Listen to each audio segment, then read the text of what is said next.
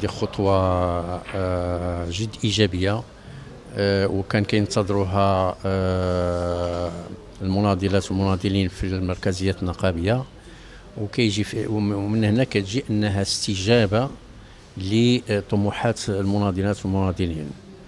لأن قضاياهم هي قضايا مشتركة وموحدة وبالتالي فكيبقى أن هذه الخطوة كنعتبروها طبيعية وتتجاوب مع طموحات الشغيل المغربية. كتهدف إلى توحيد القوى آه، العاملة في بلادنا. لأن لا الواقع ولا الملفات المطلبية المطروحة ولا غياب الحوار من طرف الحكومة كيفرض هذا الشيء وهذه نتيجة طبيعية لهذه الوضعيه اللي كنعيشوا. بمعنى ان بحال وصل الموصل الأعظم كما كيقولوا بالنسبة للطبقة العامله أحسن تعبير عبرت عليه.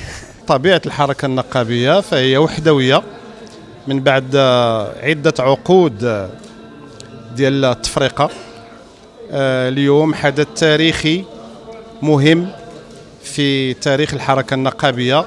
كتوحد الكلمة ديالها كتوحد المواقف ديالها كتوحد المطالب ديالها من أجل آه، المصالح ديال الشغيلة المغربية وعموم فئات الشعب المغربي.